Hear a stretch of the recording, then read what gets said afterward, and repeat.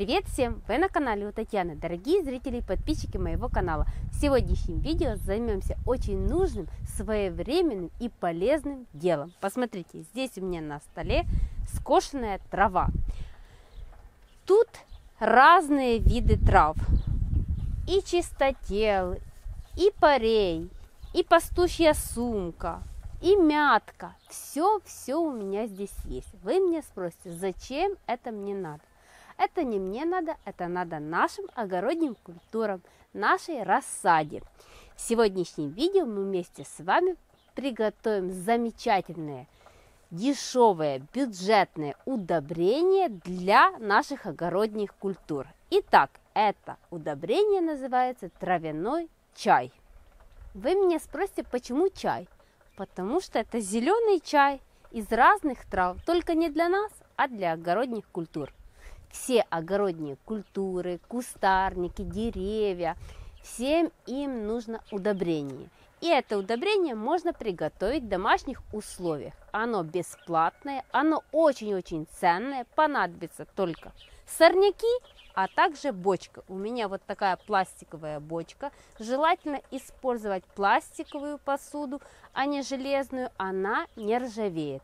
Итак, понадобится, как я уже сказала, сорняки, бочка и вода. Вода теплая, а также солнышко. Готовится такой настой, чай, как я уже сказала, буквально 10 дней. Чем теплее, тем скорее приготовится чай.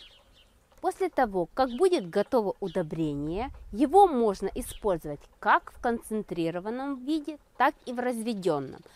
Когда и как – нужно использовать в концентрированном виде. Когда вы собираетесь высаживать рассаду в открытый грунт, за день до этого вы должны сделать луночки. Луночки сделали и проливаете эти луночки концентрированным травяным чаем. Ждем сутки. Сутки прошли, и можно смело в эти лунки, пролив уже теплой водой обычной, можно высаживать огородные культуры. Те культуры, которые очень любят удобрения. А это все огородные культуры. Попробуйте. Вы увидите, что ваши огородные культуры, такие как перец, баклажаны, кабачки, огурчики, начнут бешено расти. Этот простой способ, но очень и очень эффективный. Давайте займемся приготовлением травяного чая. В приготовленную посуду у меня бочка. Я закладываю траву на 2 трети. Хорошо уплотняя ее. Вот так. Прижимаем руками, чтобы побольше травки поместилось. Для усиления брожения и для ускорения всего этого процесса добавляем источник азота. Это дрожжи. Дрожжи прямо отправляем сюда, в бочку. И все заливаем теплой водой. Но не до самого верха, потому что начнется процесс брожения и чай начнет увеличиваться в объемах. Поэтому добавляем воду не до самого верха. Теперь нам осталось все накрыть крышкой. Прикрыть, но не плотно. Вот так. Что делаем дальше? Каждый день, хотя бы раз в день, нужно помешивать палкой травяной чай. И еще, если травяной чай будет находиться на солнышке, то он приготовится буквально за 8-10 дней. Если в тени, то за 10-12 дней. Как же использовать травяной чай? Если вы хотите подкормить ваши растения, используем так. Берем литр травяного чая и разводим в 10 литрах теплой отстоянной воды.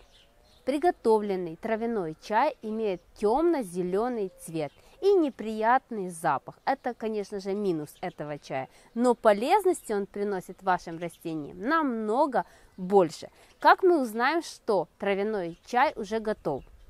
Пузырики, которые появляются при брожении, исчезают. И, как я уже сказала, темно-зеленый цвет приобретает травяной чай. С каким же интервалом можно использовать травяной чай? Используют его три раза за сезон с интервалом 10-14 дней. Если растения огородние очень маленькие, то есть рассада очень слабая, используйте буквально чуть-чуть этого раствора. А если они уже поднялись в рост, можно использовать по литре под каждое растение. Обязательно. Это же очень просто. В этом году приготовьте травяной чай и подкормите ваших любимцев, а они вас отблагодарят щедрым урожаем. Понравилось видео? Жмите лайк, делитесь с друзьями, пишите комментарии и до новых видео и до новых встреч. Пока-пока.